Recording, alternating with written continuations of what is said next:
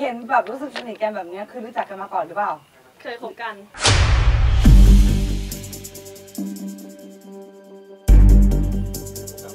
ไม่จริงเหรอจริง ยอมมองอะไรพี่ อ๋อ มองขากล้อง เฮ้ยกูอยากถามดังกูอยากถามต่อกูอยากได้ แล้วทำไมไม่ต้องถึเลิกกันยำอะกูก็มันมีหลาย ๆ เรื่องที่ทำให้ต้องเลิกกันไป แล้วทำไมถึงเทกันต่อ ถามได้ครั้งเดียวนี่ เ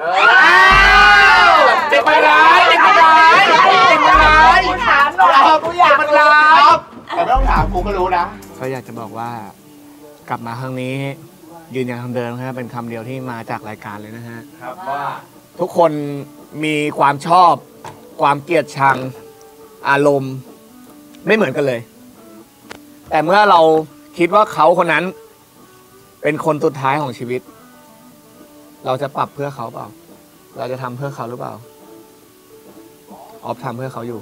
ว้า